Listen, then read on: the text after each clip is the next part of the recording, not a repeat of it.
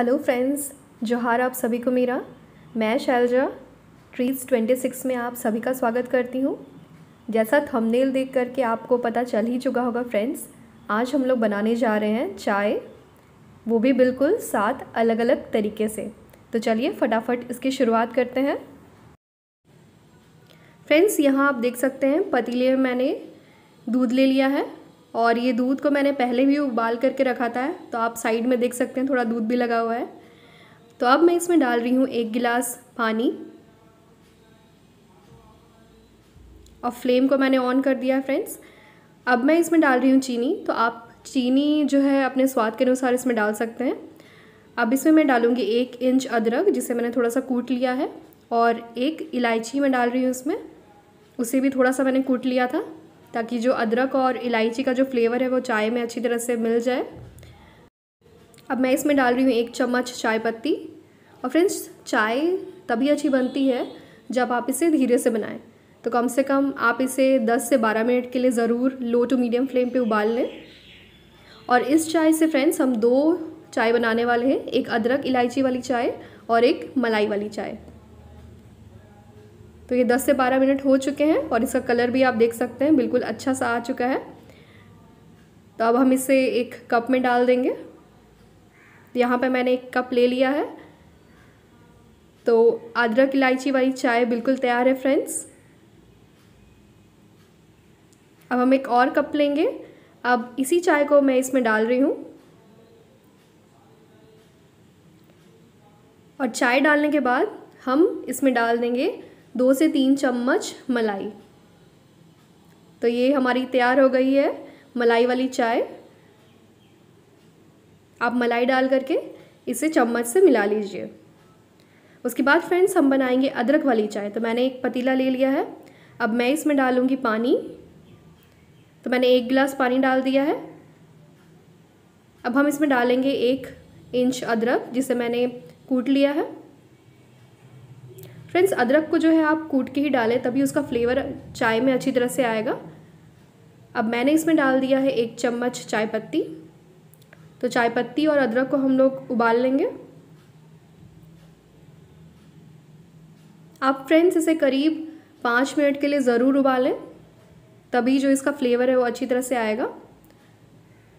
अब मैं इसमें डाल रही हूँ चीनी। आप अपने स्वाद के अनुसार इसमें चीनी डाल सकते हैं। अगर आप चीनी खाना पसंद नहीं करते हैं तो आप बिना चीनी के भी इस चाय को बना सकते हैं। तो ये उबाल अच्छी तरह आ गया है। अब हम डालेंगे इसमें दूध। तो मैं यहाँ एक कप दूध का इस्तेमाल कर रही हूँ। और दूध डालने के बाद फ्रेंड्स, आप इसे 10 से 12 मिनट के लिए आप इसे उबाल लीजिए। लो टू मीडियम फ्लेम पे। तो आप देख सकते हैं, इस चाय में उबाल आ चुका है और चाय जो है हमारी बिल्कुल तैयार है। तो हम इसे एक कप में डाल लेंगे।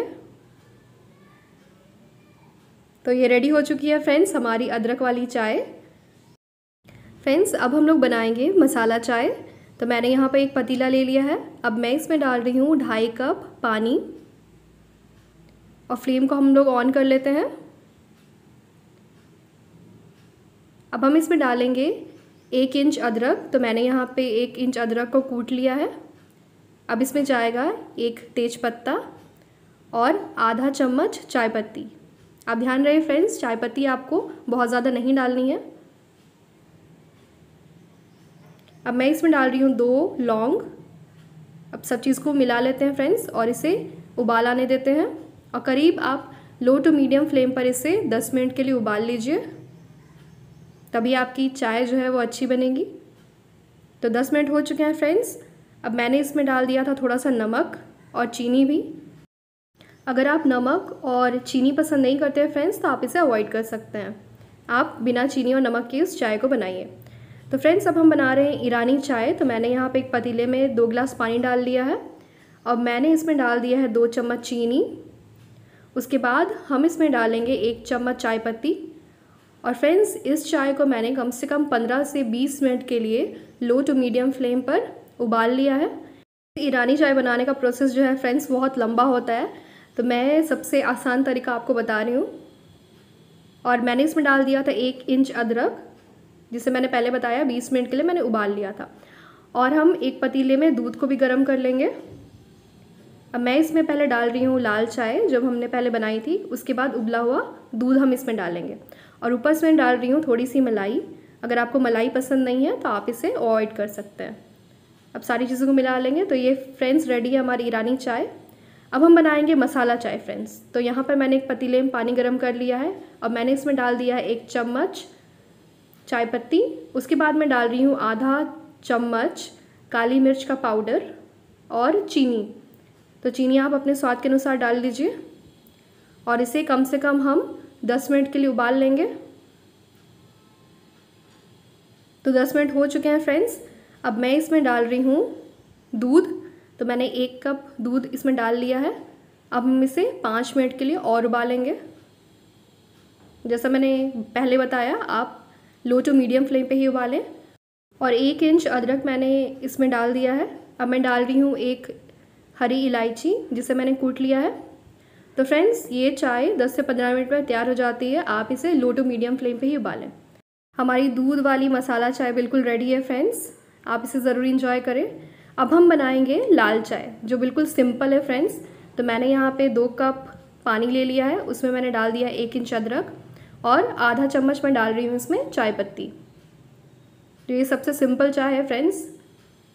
और चीनी आप अपने स्वाद के अनुसार इसमें डाल लीजिए। तो इसे हम ज़्यादा नहीं उबालेंगे फ्रेंड्स कम से कम हम इसे सात से आठ मिनट के लिए उबाल लेंगे. तो चीनी मैंने बाद में डाल दिया है. अगर आप चीनी खाना पसंद नहीं करते तो आप इसे सिर्फ़ अदरक और चाय पत्ती के साथ बनाएँ.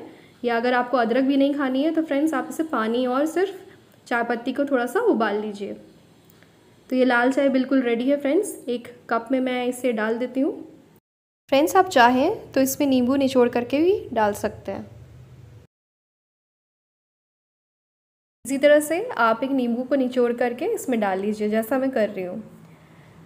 तो आज की वीडियो आपको कैसी लगी फ्रेंड्स? आप मुझे कमेंट सेक्शन पे ज़रूर बताएँ और जितनी भी मैंने चाय बनाई है, आप उसे फ्रेंड्स और फैमिली के साथ ज़रूर शेयर करें। और अगर आपको ये वीडियो अच्छी लगी हो तो आप इसे लाइक कर सकते हैं और मेरे चैनल को सब्सक्राइब कर सकते हैं। Thank you.